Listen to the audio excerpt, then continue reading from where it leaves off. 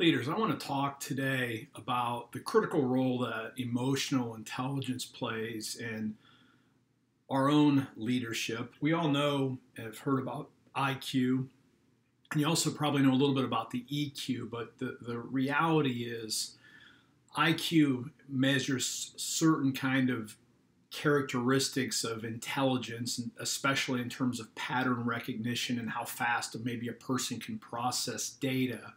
But it's EQ that puts the real lid on your capacity to get things done. We've all known people with really high IQs that were ineffective in leadership, and we've also known persons who may have had a lower IQ that were highly effective in getting things done and taking action. So, what exactly is EQ and what are the components that make it up?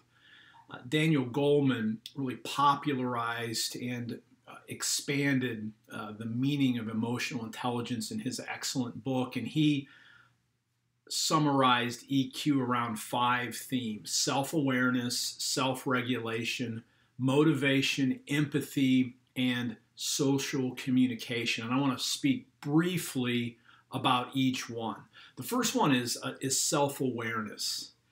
Now, we all essentially know what self awareness is, and the, the question of how much self awareness you have turns on this. Are you aware as a leader? Do you have the ability to recognize and understand the impact that you have, or that in my case, I have on other people. That's what self awareness really is in leadership. Do you know your blind spots?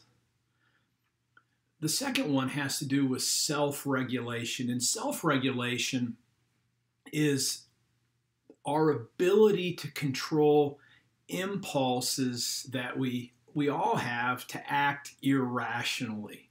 Again, I'm not talking about going crazy, but we all know, or as, as you develop EQ, you you uh, you you know and you begin to recognize what are those situations, those triggers, those places where we have to be extra attentive, lest we lose our effectiveness by uh, being distracted by something that someone says or being triggered and sent off down a rabbit trail. So, do you have the ability to self regulate so you don't act irrationally at improper moments?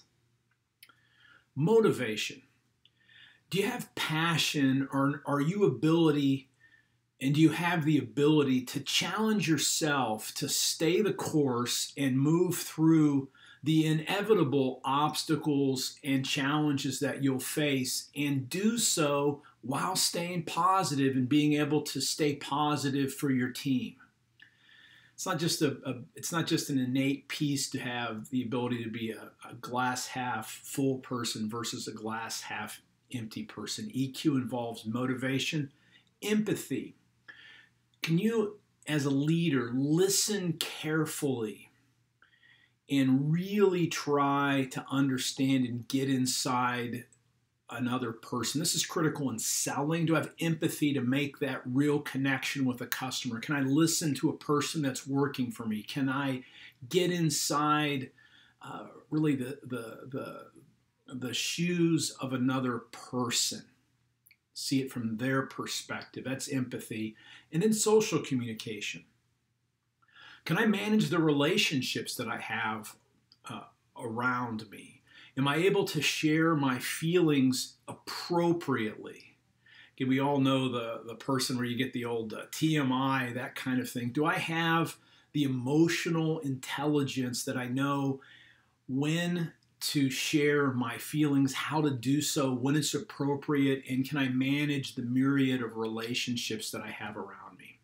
Now, wherever you are on EQ, and you might want to give yourself a scale from zero to 10 for each one of these elements. And here's the good news all of these are things that you can learn. So, what can you do to grow your emotional intelligence?